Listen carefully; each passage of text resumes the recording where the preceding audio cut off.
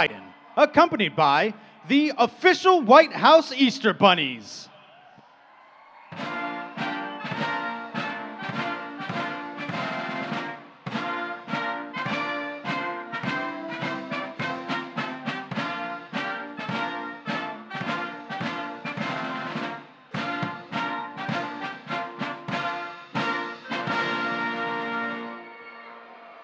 Welcome to the White House Easter egg roll. Happy Easter, everybody. I'm a teacher, so I love any time when we can turn the White House into a classroom. And that's what we're doing today. The South Lawn is transforming into our learning playground and school community.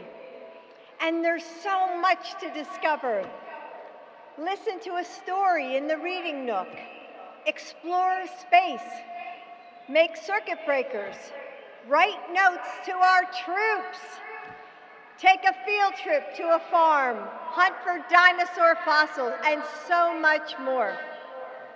Education expands our horizons and transports us to new worlds. Just like these balloons, it allows all students to soar and reach unimaginable heights.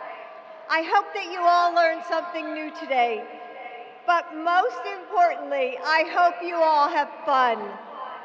And now it is my honor to please welcome my husband, the President of the United States, Joe Biden.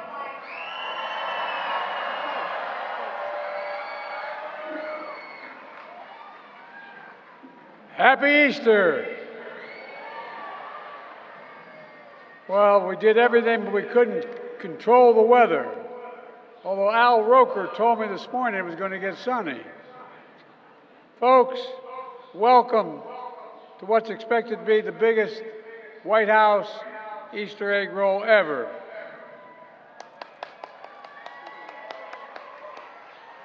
I want to thank the National Park Service, the White House Historical Association, the America, especially the American Egg Board, and our nation's egg farmers for the Egg Board. They've done a great job. And thank you for making this special tradition possible. You know, it began in 1878 because they wanted to have an Easter egg roll on the park grounds, but they weren't allowed to do it. So the president then said, let's have it at the White House lawn. They couldn't stop that. Been going on since then. Easter reminds us of the power of hope and renewal, sacrifice and resurrection, but mainly love and grace toward one another. It's time to pray for one another, to cherish the blessings and the possibilities that we have as Americans. That's what I see in our country. We're a great nation because we're good people. Our values are solid, and the rest of the world looks to us, and we're determined to keep up that banner. And because of you, the American people, and I mean this sincerely, I've never been more optimistic about America than I am today. We have enormous opportunities, enormous opportunities. We just have to remember who we are. We're the United States of America, and there's nothing, nothing beyond our capacity. God bless you all. Enjoy the day, and I'm coming down to do that Easter egg roll just a minute.